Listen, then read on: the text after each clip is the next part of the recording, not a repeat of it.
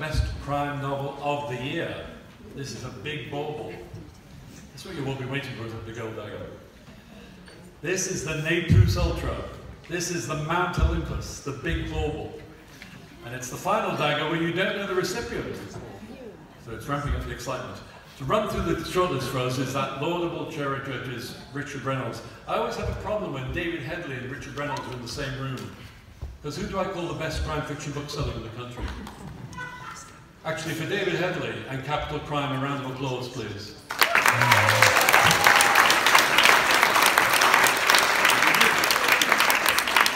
I've known Richard for 35 years, longer I think. In fact, we were, I was at Cambridge and uh, we served uh, Wilkie Collins, Edgar Allan Poe, did we not?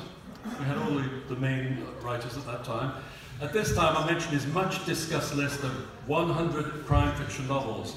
Quite a lot of the authors on the list are dead, but Richard remains one of the most enthusiastic promoters of living crime writers. Richard Reynolds.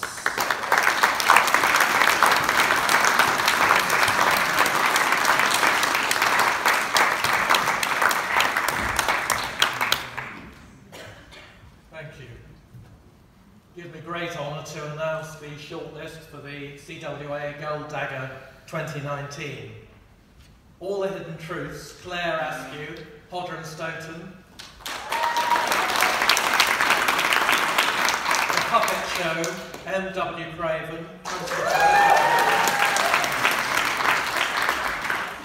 What We Did, Christobel Kent. Unto us a child is given, Donna Leon, Heinemann Cornerstone. American by Day, Derek B. Miller, Doubleday Transworld. And The Station on the Road to Somewhere Better by Benjamin Wood.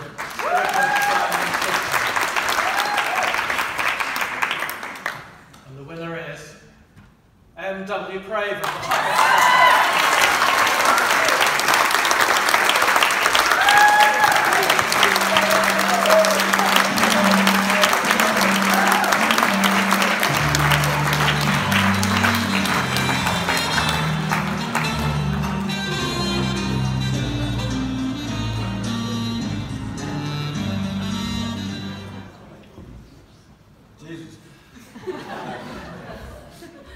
Oh, well, this is the the sixth one I've been shortlisted for this year, so I just assumed.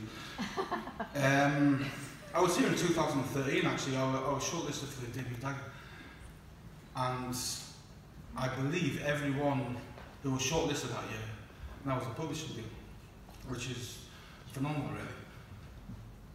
Also that year, I met Lee Child for the first time, and I shook his hand, and then my wife said, to have to stop shaking his hand because this is just getting really, really awkward. It was also the year that I said, let's drive to London because it'll be cheaper than the train. We'll give the person who said we can leave our car at a garage uh, a bottle of wine. I said, I'll get one from the kitchen.